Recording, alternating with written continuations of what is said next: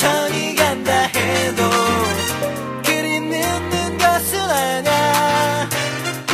이 세상도 사람들 얘기처럼 복잡하지만은